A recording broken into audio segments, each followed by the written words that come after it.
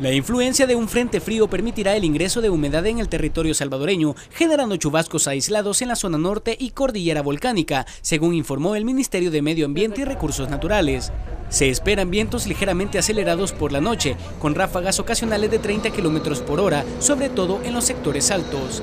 El cielo se observará de medio nublado a nublado. El ambiente se mantendrá muy caluroso durante el día y fresco por la noche y madrugada.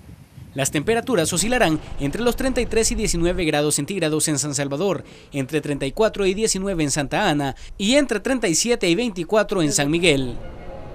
Informó para la prensa Milton Jaco.